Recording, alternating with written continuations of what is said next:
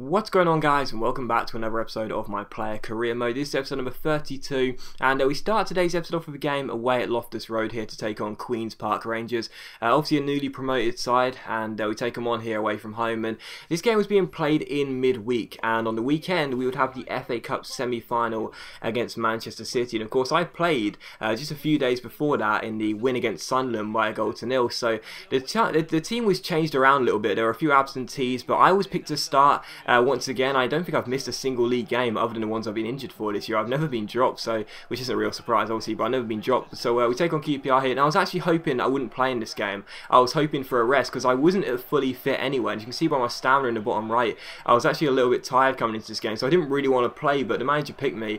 And uh, the first chance of the game would fall in the 12th minute here as I roll through Boateng. He strikes it, but unfortunately the Brazilian goalkeeper, Julio Cesar, makes the stop and keeps it scoreless. And in the 32nd minute, it's Boateng on the ball again. He plays it forward here, and eventually it's uh, Richard Dunne who gives the ball away, and it falls to Williams, and Williams puts it in to make it 1-0. So we do go 1-0 up in the 33rd minute. It is Williams who gets the goal. I kind of, I don't think I can claim an assist for that, but I did at least, you know, cause a little bit of a panic from the QPR defence. But still, it's Williams who gets the goal, and we take the lead 33 minutes in. And uh, in the second half, in the 52nd minute, we had a free kick here, and I, I was hoping the ball would be laid off to me, but unfortunately not, because it was struck by the Jag and went harmlessly over the bar. I don't know what you got to do to get to take free kicks on this game, but unfortunately I've never been able to. But still, 1-0 uh, here, but we were in control really. QPR weren't threatening at all. And in the 56th minute, Boateng gives me the ball here. I get on the right hand side, take on Stéphane Mbia, beating with a nice piece of agility, uh, try and offload the ball, Faurlin intercepts, but I win it back, fake shot round Mbia, then Ronaldo chop past the defender,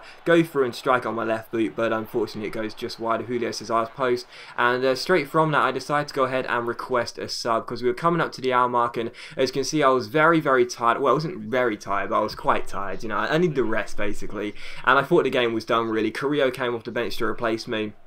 I couldn't see Fulham losing this game from a, a 1-0 lead because, like I said, QPR hadn't even threatened uh, our goalkeeper's goal at all and I felt like we were in complete control to be honest. So I thought I'll just request a sub. Carrillo will come on. I'm sure the boys will get the job done because although we really do need to keep winning in the league, I put the faith in the teammates. That's not really something I've been doing of late, but thankfully my faith was repaid because we did manage to hold on and win the game by three goals to two. So um, yeah, so quite a few goals came in after I left, but uh, even so, we won the game by three goals to two, and that's an important win for us. So finally, the teammates actually do something good for once. But still, uh, we take on Manchester City here in the FA Cup semi-final at Wembley. So we've done very well to reach this stage, and I've said before I would love some silverware in our second season uh, with Fulham because of course we did win the championship last year with Nottingham Forest. So I'd absolutely love some silverware in our second season as well. As we take on Manchester City here, unfortunately Kasami wasn't ready to play just yet, so David would be playing just behind me. But uh, even so, I still felt I still felt relatively confident. You know, two wins in a row of course, against Sunderland and then QPR. I still felt relatively confident coming into this game, and uh, of course, City's team is fantastic, but I still felt we could cause an upset here, and uh, of course, whatever team goes through will be taking on Spurs in the final. What is it about Spurs getting to finals of competitions on this game? I don't know, but uh, still, we take on Manchester City, and as I look at their team, I'm sitting there thinking, Jesus, that is going to be one hard team to beat. My teammates going to have to be on fire for the entire game, but I still definitely felt there was a chance, and the first chance of the game would fall in the 23rd minute as Yaya Toure collects the ball and offloads it to the French left back Gael Clichy. He finds Fernandinho, he gives it to Javi Garcia, and the Spanish holding midfielder plays it back to the Brazilian, goes down the left hand side, plays it back to the Spanish midfielder. He finds Gael Clichy, the former Arsenal left back, back to Javi Garcia, and we just couldn't get the ball off Manchester City. And uh, well, thankfully for us, it's a great save by the keeper there as Negredo's header is brilliantly stopped by the goalkeeper he managed to get the ball away. So almost 1 0 to City, but thankfully our goalkeeper makes a good save. And in the 29th minute here, Steve Sidwell finds David. He plays the ball out wide. Uh, eventually, uh, eventually after the tackle by Nasri, he plays out wide towards the run of Kacaniklic down the left hand side, keeps holding the ball, swings it across. Sidwell wins the header,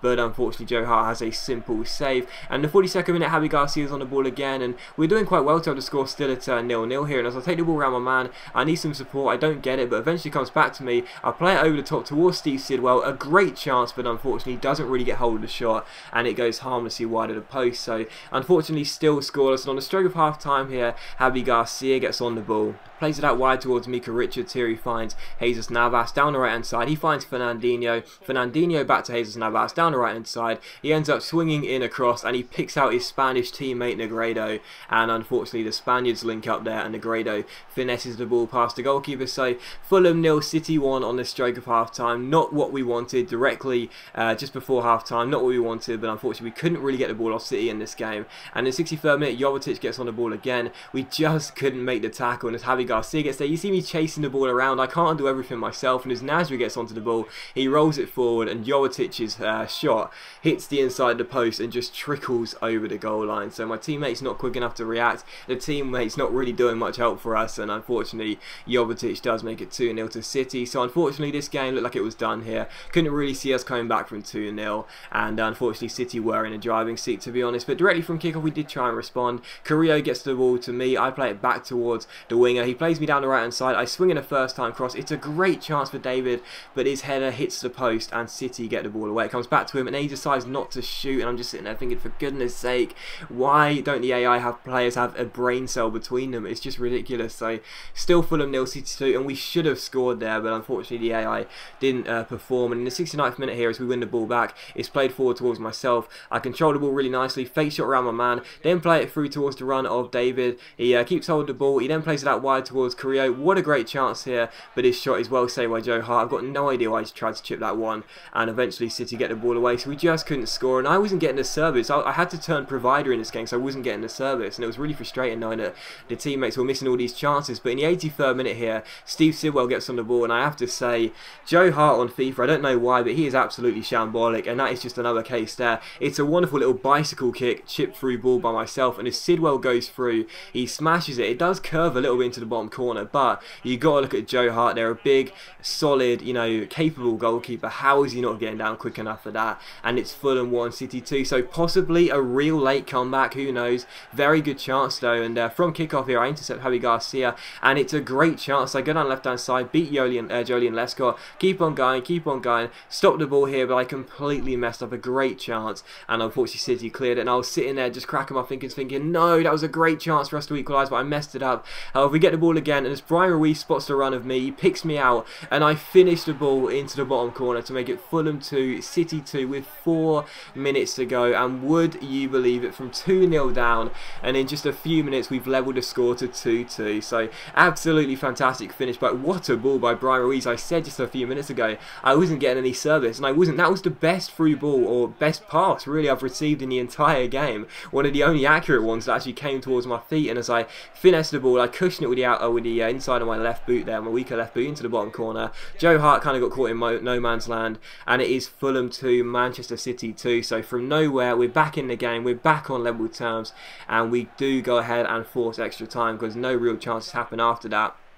And as you'll see, uh, we did indeed finish the game at two apiece. So thankfully, we were level, and I was just absolutely relieved to be honest, because we didn't get too many chances. But when we did, we did manage to take them. But uh, the game, you know, the game wasn't sort of all Manchester City's. We had more shots and more on target. It's just a possession that was the main problem. You know, we didn't have the possession which City had, which meant that when they went two 0 up, we couldn't get the chances. But uh, thankfully, it was Fulham two, City two. And in 105th minute here, well, unfortunately, the uh, possession stat um, was just as, as true as it comes really. We just we could not get the ball off City. And as you see here I'm, I'm quite tired. I can't do all the chasing anymore.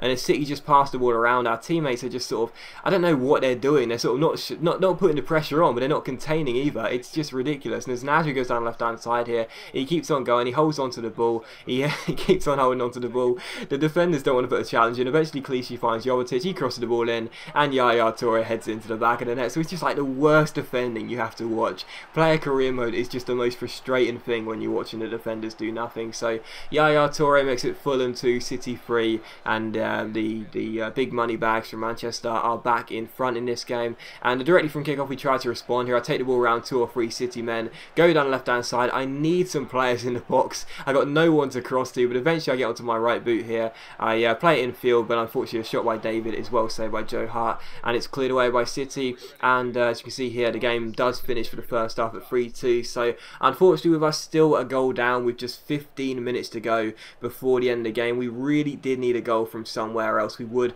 uh, be going out in the semi-finals and we would, wouldn't be progressing to the finals. The score uh, remained as it did and unfortunately it did. It did stay at 3-2. We did lose the game and it's a real shame. No real chances got created in the second half. I have to say it was the worst second half of extra time you'll ever see. You know, 15 minutes to save ourselves from going out of the FA Cup and we genuinely created nothing. That's how frustrating player career mode is but still Fulham 2, City 3, we're out of the FA Cup in the semi-finals. We did well to get here but unfortunately our progress ends here and uh, we won't be going any further. But as always guys, a big thank you for watching the video. I really hope you have enjoyed it. If you have enjoyed today's episode, please leave a like because it's much appreciated. It really does help my channel out. And I'll see you for the next episode of my Player Career Mode series very soon.